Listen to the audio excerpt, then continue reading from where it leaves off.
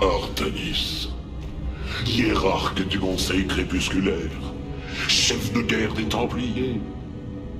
Je m'attendais à mieux. Quelle arrogance Surveillez vos paroles, ou ma lame s'en chargera pour vous. Non, ce n'est pas une façon de parler à celui qui a sauvé la vie de ton père. Vous ne vous souciez guère de ma survie, Alarak.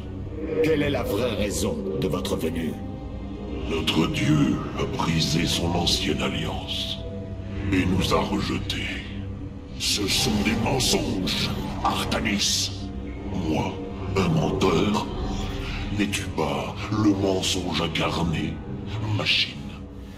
Dites ce que vous avez à dire, Alarak. La flotte de mort des Daldarim se rassemble à Slane et se prépare à une invasion de grande envergure. Je viens vous faire une offre. Vous m'aiderez à requérir un combat pour le droit de régner sur les miens en tant que haut seigneur. En échange, je vous accorderai une cessation des hostilités entre nos deux peuples. Phoenix, faites appeler mes conseillers. Nous avons beaucoup à discuter.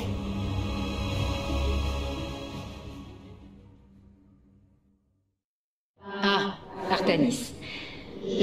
Je pense que je vous serai plus utile en restant ici. Et je trouve plus judicieux de laisser Alarak là où on peut garder un œil sur lui. Rien ne s'est passé comme prévu. Nous sommes venus sur Ulnar pour réveiller les Xelnaga et obtenir leur aide. Et au lieu de cela, Amon a bien failli nous tuer. Je crains que la prophétie de Zeratul ne commence à m'échapper. Il était plus proche de la vérité que je ne le pensais. Les Xelnaga ont reposé ici. S'ils étaient toujours en vie, je pense qu'ils nous auraient aidés comme Zeratul l'avait prédit. C'est le moins que je puisse lui accorder. Matriarche, vos paroles me surprennent. Peut-être sur certains sujets ai-je été influencé par nos discussions. Dans ce cas, je m'efforcerai de les poursuivre en toute occasion. J'ai dit sur certains sujets, hiérarque. Et seulement certains. Rohanna, ne voyez-vous pas pourquoi vous devez sectionner vos cordons nerveux? Je ne peux permettre que vous retombiez sous la coupe d'Amon. Le Gala a été créé à notre heure la plus sombre. Seule sa lumière a pu réunir notre peuple et lui rendre sa cohésion. Nous sommes nés en son sein. Et à notre mort, nos esprits fusionnent avec lui. Il vaut la peine qu'on se batte pour lui. Et aujourd'hui, Amon l'utilise contre nous. Le Kala permet son existence. Il doit disparaître. Artanis, dans le Gala, chacune de nos pensées, chacune de nos émotions fait partie d'un tout. Je perçois ses pensées et ses émotions s'agitant comme dans un tourbillon continu. Il ne le sait pas, mais dans le Gala, il est vulnérable. Comment cela? Comme il peut voir en moi, je peux voir en lui. Nous pouvons utiliser cela à notre profit, hiérarque. J'en suis convaincu. Cela n'en vaut pas le prix. Laissez-moi seulement un peu de temps. De puissants guerriers psioniques ont rejoint nos rangs, hiérarque. Vous pouvez faire votre choix. Kassar des Templaris. Les pénitents d'Alarak se joignent à notre combat. Nous allons de surprise en surprise.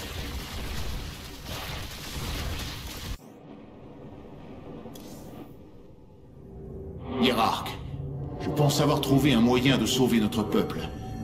Comme Zeratul le disait, notre salut pourrait venir de cette clé. Expliquez-vous. Nous savons maintenant que la clé a été conçue pour être trouvée et assemblée par ceux qui allaient se transformer finalement en Xel Naga. Après nous avoir conduits jusqu'à Ulnar, elle relâchera toute l'énergie qu'elle contient pour tirer les Xel Naga de leur sommeil. La clé siphonne l'énergie et la redistribue. Essence, matière, information, conscience. Pour elle, c'est la même chose. Les observations sont formelles. C'est comme cela qu'elle a purifié Kerrigan Elle a extrait l'essence à l'origine de la Reine des Lames, puis l'a utilisée pour libérer Amon du vide. Si je découvre comment contrôler la clé, nous pourrons l'utiliser pour extraire Amon du Kala et sauver les nôtres. Zeratul nous aura finalement permis de retrouver espoir. Poursuivez vos recherches, Carax. Nous avons une guerre à mener contre Amon.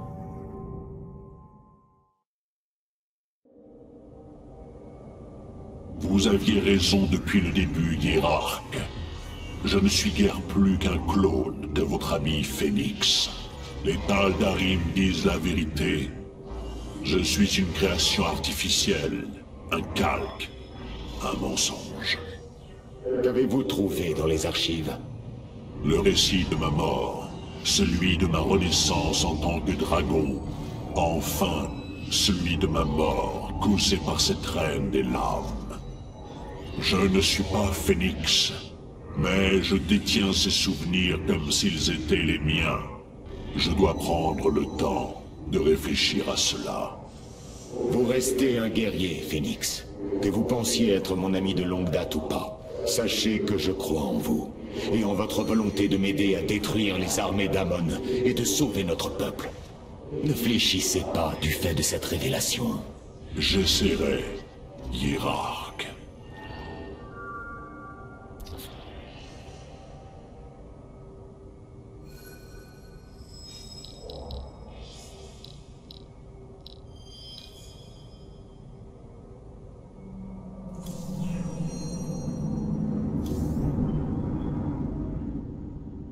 Savoir qu'Amon te détruira. Si vous avez une telle foi en lui, pourquoi êtes-vous ici? Oh, je ne fais qu'énoncer l'inévitable. Je connais la véritable puissance de ce que tu affrontes. J'ai dit te détruire, pas me détruire. J'en ai vu assez. Son orgueil démesuré causera sa perte. Un défaut que vous possédez également. Je crois que je t'aime bien, hiérarque. Bravoure est louable. Joignez-vous à moi alors. Ensemble, nous pouvons le vaincre. Je ne peux pas lier mon destin au tien. La haine ne brûle pas autant en toi qu'en moi. Tu n'es pas dévoré par la souffrance de savoir que tout ce en quoi tu croyais n'est qu'un mensonge, et que ton seul réconfort viendra de la destruction du traître. Vraiment Amon a corrompu mon peuple et le transforme maintenant en abomination hybride. Ma rage brûle plus qu'un millier de soleils, et bientôt vous serez tous témoins de mon courroux ardent J'aimerais vraiment voir ça.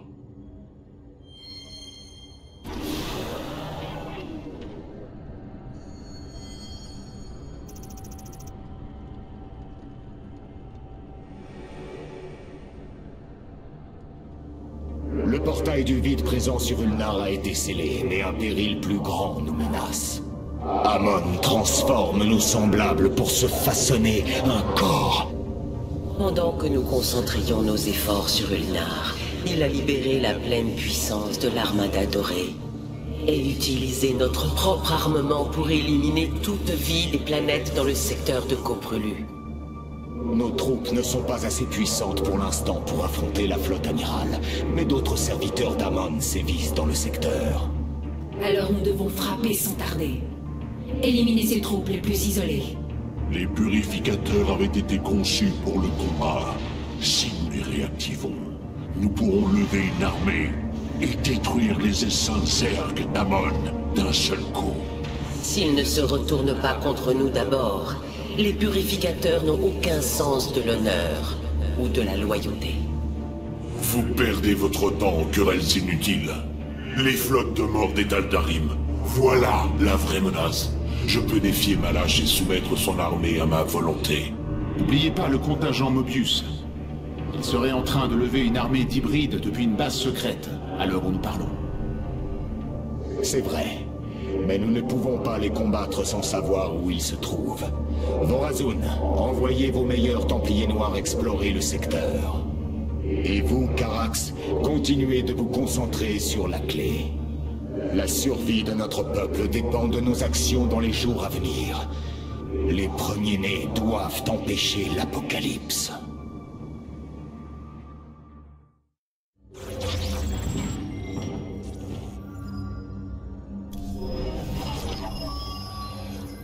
Les Xel'Naga sont morts. Ulnar ne renfermait pas la clé de notre salut, mais nous y avons trouvé l'espoir. Si nous devons nous battre, il nous faut lever une armée. Avec Phoenix, nous pensons pouvoir réveiller les anciens purificateurs et profiter de leur puissance. Même s'ils constituaient une technologie interdite, Phoenix m'a fourni un aperçu de leur potentiel. Et je sais que cette fois, nous pourrons compter sur eux.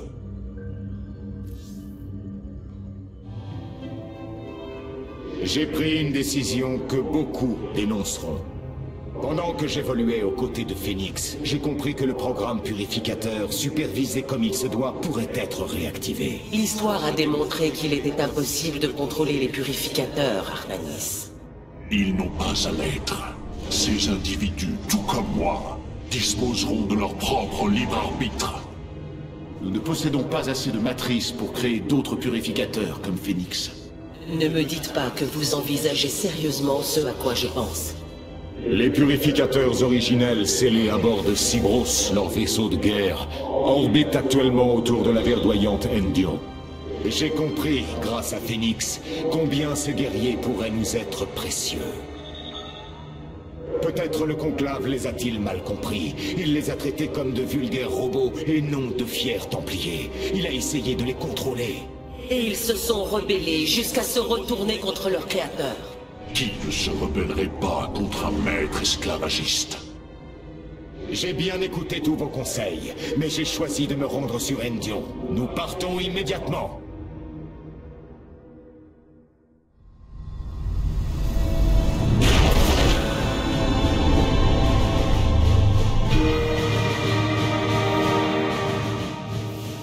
Le réseau de Stase est encore.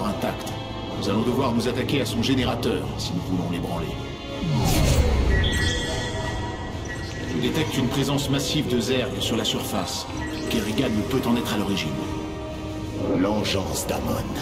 La partie ne sera pas facile.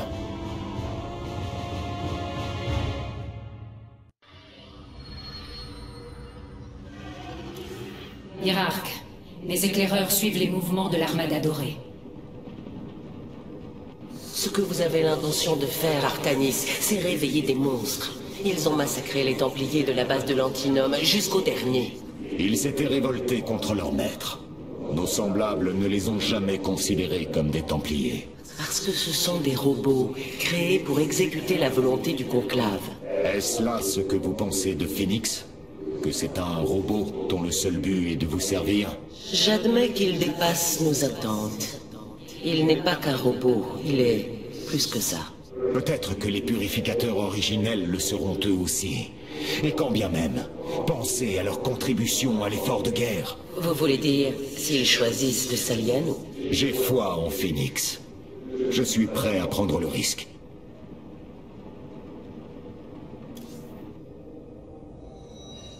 Je sais que cela fonctionnera, hiérarque. Je sais que je peux mener les purificateurs au-delà des ténèbres qui nous font face. Que je peux les aider à accepter ce qu'ils sont. Je peux les convaincre qu'ils ne seront plus traités comme des serviteurs. Si c'est le cas, il semble que vous ayez trouvé un but à atteindre, mon frère. Depuis mon réveil, je nage en pleine confusion, en pleine errance, douteux de ce que je suis, de comment je le suis devenu. Maintenant, tout s'éclaire. Le destin m'impose une mission que moi seul peux remplir. C'est exaltant. Oui. Vous entreprenez une tâche que même Phoenix n'aurait pu mener à bien. Mais il aurait essayé s'il avait pu. J'ai appris énormément des souvenirs de Phoenix, et à travers eux, je me suis découvert moi-même. Je suis Phoenix, mais je ne suis pas lui. Je suis un organisme propre et j'en tire de la fierté. Les Zerg nous posent un grave problème. La disruption du réseau de Stase n'est déjà pas une tâche facile, mais elle le sera encore moins si la couvée d'Amon nous attaque. Nous les contiendrons assez longtemps pour vous permettre d'accomplir votre travail, Carax. Les scientifiques ont isolé Cybros avec un appareil appelé le mégalith. C'est la clé pour désactiver le verrouillage de stase de la station. Une fois le réseau désactivé, nous devrons agir vite et réactiver Cybros ou fuir en orbite. La puissance de cette couvée est trop importante.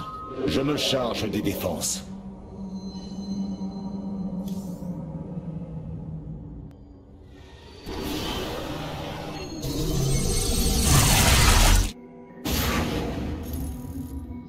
Si nous voulons réactiver Cybros, nous allons devoir mettre hors d'usage les générateurs de boucliers d'Ention. Le moment est venu, hiérarque.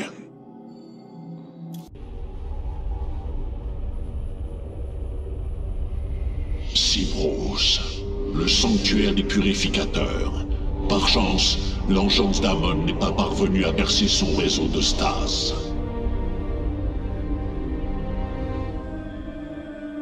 J'ai maintenant accès aux archives d'Endion. Hmm. Le réseau de stase est scellé par des mécanismes de verrouillage complexes. Seul un appareil spécifique, le mégalith, pourrait déstabiliser ces mécanismes. Je vais tâcher d'en reprendre le contrôle afin qu'il s'attaque au verrou. Je vais avoir besoin de protection. Ces forêts grouillent déjà d'abominations Zerg. Dans ce cas, nous devons les éradiquer.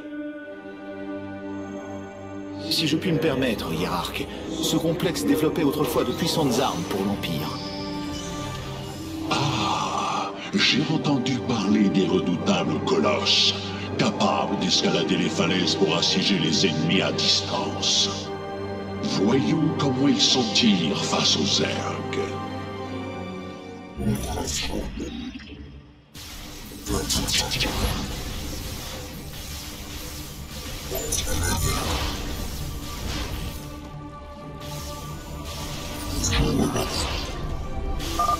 Zerg arrivent de cette galerie. En ouvrant le feu sur cette formation rocheuse, nous pourrions sceller l'accès.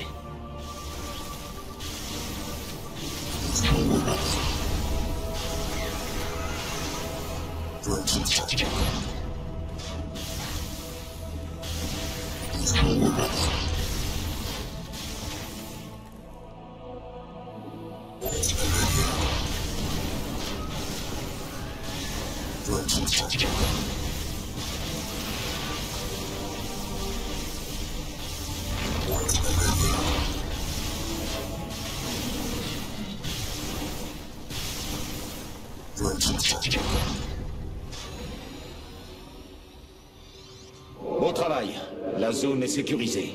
Les coordonnées de transfert de notre Nexus sont verrouillées.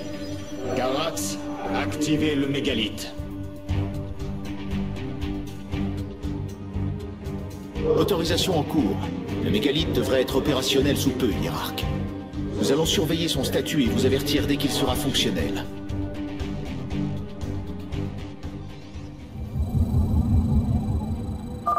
L'activation des systèmes du mégalith est imminente. Pourra bientôt se déplacer. Entre-temps, j'ai amélioré nos complexes robotiques pour qu'ils puissent construire des colosses. Vous pouvez transférer ces unités quand bon vous semblera, hiérarque.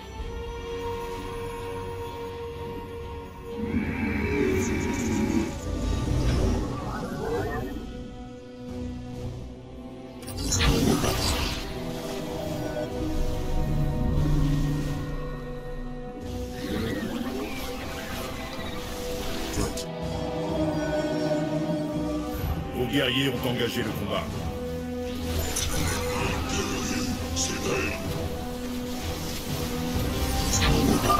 Le mégalith est sur le point de s'activer. Nous devrions nous assurer de disposer de forces suffisantes pour l'escorter. Vous n'avez pas assez de minerais.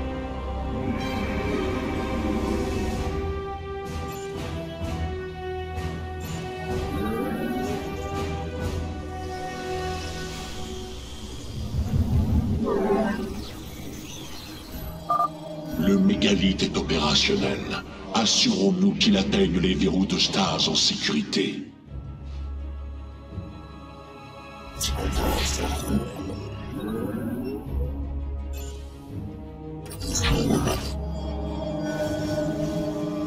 Vous n'avez pas assez de minerais.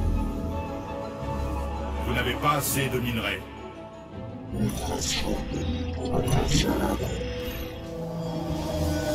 Je suis. Le mégalith a atteint le premier verrou de stase. Il restera en sécurité sous la surface le temps de procéder à son ouverture.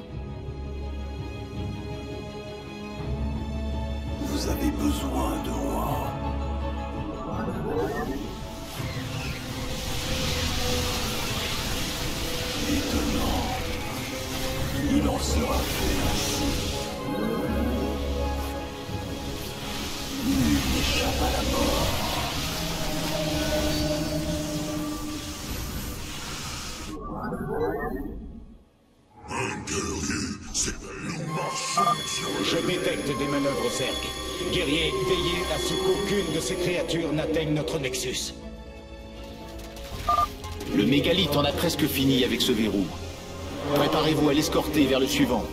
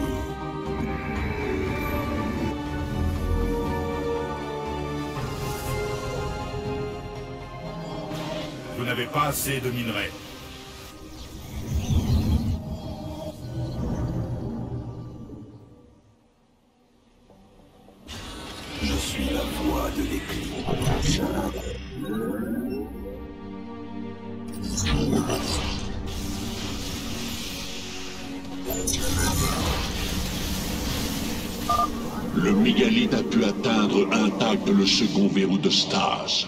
Il devrait parvenir à l'ouvrir assez vite. Intéressant. Je pense que ce complexe tirait la puissance nécessaire à ses expériences de noyaux d'énergie démesurés. Ils sont certainement encore dissimulés quelque part dans ces montagnes. Si nos guerriers parviennent à les détruire, nous pourrons nous emparer des fragments de solarite qu'ils contiennent. Le premier noyau d'énergie a été isolé. Je le transfère immédiatement à bord.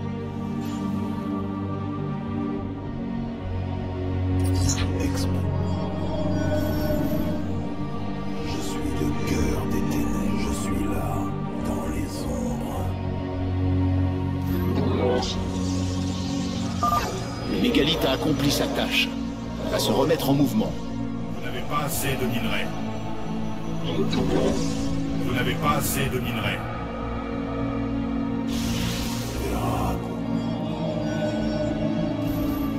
Nous ne faisons qu'un. Le passage se rétrécit. Des spoilers Ils s'enracinent sur la crête et s'apprêtent à faire feu. Tenez bon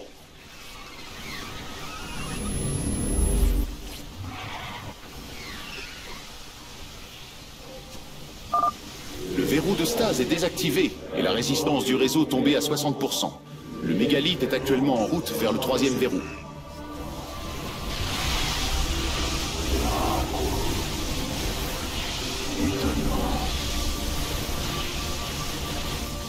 Nous avançons en secret. À votre service. Pour l'instant.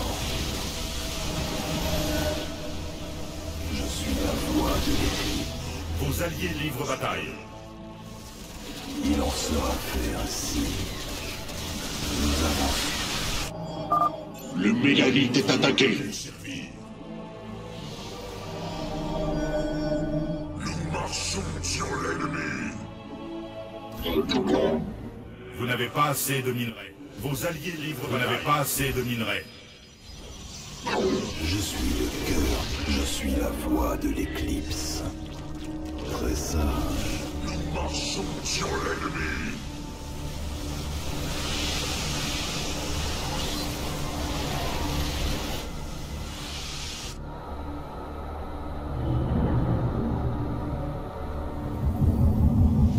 Nous marchons sur l'ennemi.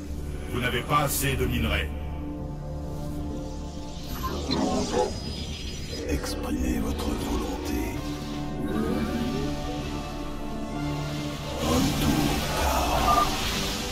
Travail, guerrier. Le mégalith va désactiver le troisième verrou.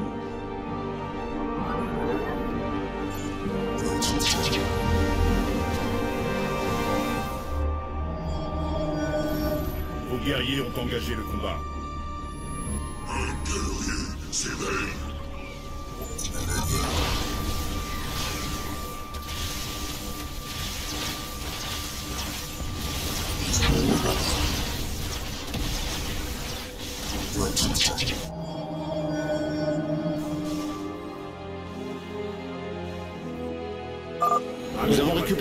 Je vais m'en occuper sur le champ. Ce verrou va bientôt céder. Le mégalithe ne va pas tarder à reprendre sa course.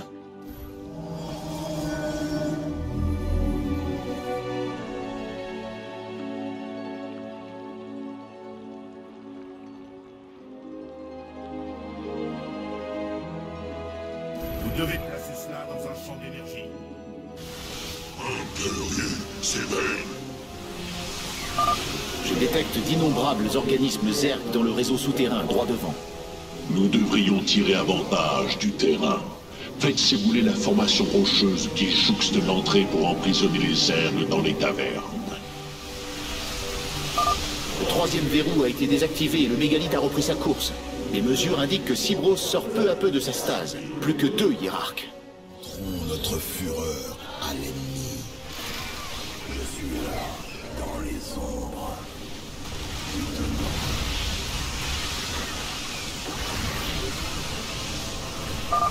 Nombre significatif de Zerg détectés dans les grottes droit devant. Soyez prudents.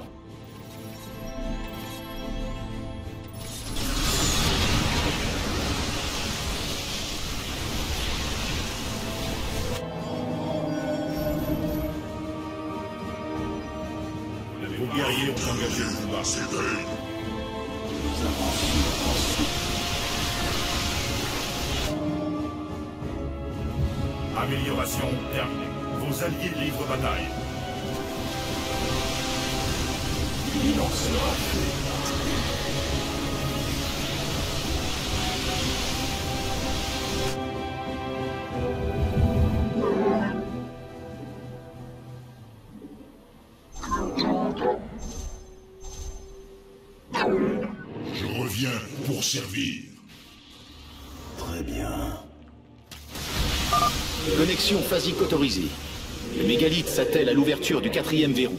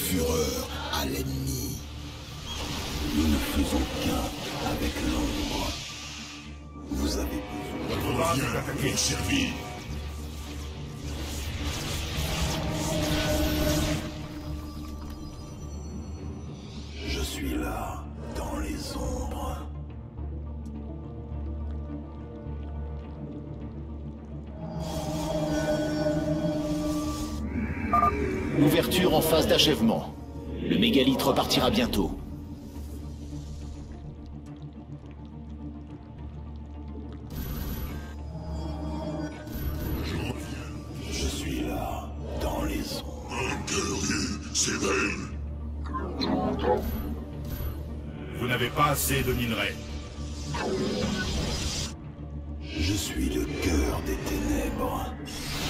D'or pour l'éternité. Exprimez votre volonté. Verrou désactivé, mégalithe en mouvement. Réseau de stase à 20%. Attendez, je détecte une activité Zerg dans la colonie voisine. Ils sont en train de renforcer le dernier verrou. Une colonie entière de Zerg se dresse entre le mégalithe et le dernier verrou de Stase. Nous n'avons d'autre choix que de la traverser par la force.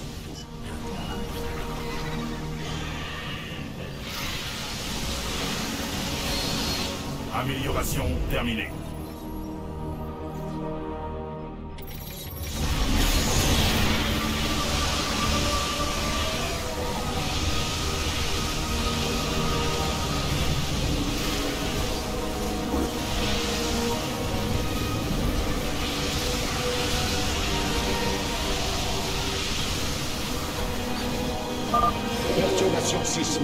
Des vers de Nidus s'approchent de votre position.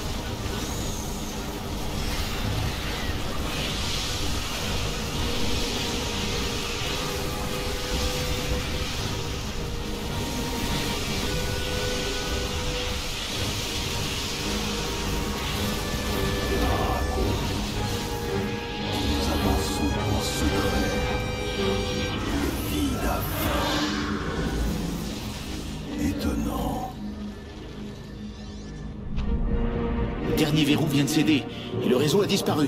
Nous avons réussi. Cibro s'est libéré de sa stase. Rappelez toutes les forces de la surface d'Endion que toutes se dirigent